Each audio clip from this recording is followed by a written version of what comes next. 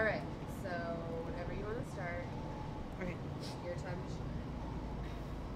Straight friend says, Ela, I mean, Ebo, I want to get this flawless. When I talk about you, wait, I could still use you, right? You go by they pronouns. Did you know that they is plural? Well, it's grammatically incorrect. I've done a lot of work to try to untie myself from this system of knots. I've had to rearrange my parts and everything I've ever learned to get here. Here. This body has always felt like an old motel with no keeper and a room that I would gladly leave if I could. You can't get flawless what you've already classified inconvenient ruin. While I hold on to keys to my own confinement, waking up to the choke of my own hands, too afraid to let myself go. Please explain to me how my autonomy is less valuable than your grammar. What am I worth to you? Straight friend says, I want to call you by the right pronouns and by the right names if this is actually what you want. I just really thought that at your age, you knew who you were. It's a little disappointing. I will always have to remember that I am tightrope walker with no net. You have had the privilege of being spectator. I've been too busy playing magician to the sleight of gender that I've mastered, wrapped too tightly in the bifold, in system, in this normal circus. You thought I knew who I was, or you thought you knew who I was. You know that new store with all the construction that replaced that bakery, restaurant, boutique, coffee shop? Well, it's open, but it's a pet grocery. The fuck is that? I don't know where they got the idea that people around here can afford groceries for their dog. Rocky eats Purina and leftovers.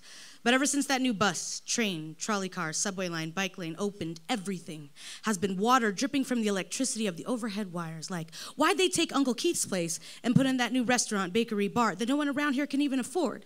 It's like they are poking holes on our streets to see if we will leak from them. Every time they build, they rip at our seams, never give us a minute to mourn our holy open graves. They put up tombstones we can't afford to look at. You know, Thomas moved. They said his lease ended and the rent for his apartment rose like $300. So he mo- moved 20 miles south or west or north or far away from here. He works part time at the pet grocery now. Says the commute is worth it. Got a one bedroom for the same price I'm paying for a studio with a broken heater my landlord is still waiting for me to pay for. It's like what we used to pay. It's like the only place that remembers us is too far to even remember how to get back here. Painting all their new buildings colors we've been using in our artwork for years and calling it new and calling it right, making right angles of our cul de sac blocks. They call it cleaning up. Like we were the mess. They call us a dead end, but they're not calling this a dead end anymore. The city looks like an erector set of a child that wears a suit now with a big office on the top floor of a building so high up he has no idea that people still live here. Do you know that people still live here?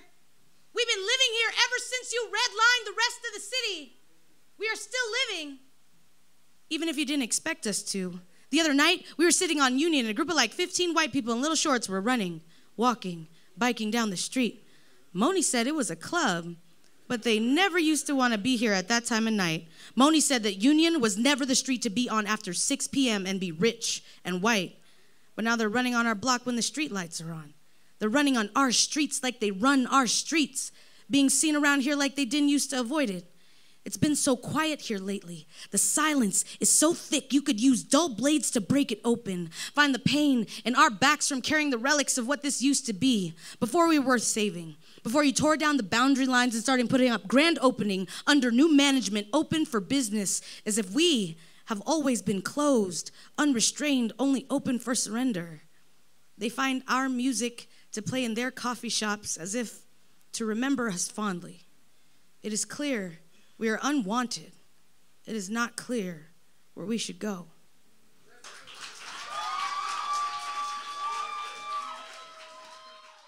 Boutique coffee shop. Well, it's open, but it's a pet grocery. The fuck is that? I don't know where they got the idea that people around here can afford groceries for their dog. Rocky eats Purina and leftovers. But ever since that new bus, train, trolley car, subway line, bike lane opened, everything has been water dripping from the electricity of the overhead wires. Like, why'd they take Uncle Keith's place and put in that new restaurant, bakery, bar that no one around here can even afford? It's like they are poking holes on our streets to see if we will leak from them. Every time they build, they rip at our seams, never give us a minute to mourn our holy open graves. They put up tombstones we can't afford to look at. You know, Thomas moved. They said his lease ended and the rent for his apartment rose like $300. So he moved 20 miles south or west or north or far away from here. He works part time at the pet grocery now. Says the commute is worth it. Got a one bedroom for the same price I'm paying for a studio with a broken heater my landlord is still waiting for me to pay for. It's like what we used to pay. It's like the only place that remembers us is too far to even remember how to get back here. Painting all their new buildings colors we've been using in our artwork for years and calling it new and calling it right, making right angles of our cul de sac blocks. They call it cleaning up, like we were the mess. They call us a dead end, but they're not calling this a dead end anymore. The city looks like an erector set of a child that wears a suit now with a big office on the top floor of a building so high up he has no idea that people still live here. Do you know that people still live here? We've been living here ever since you redlined the rest of the city. We are still living, even if you didn't expect us to. The other night, we were sitting on Union, and a group of like 15 white people in little shorts were running, walking, biking down the street.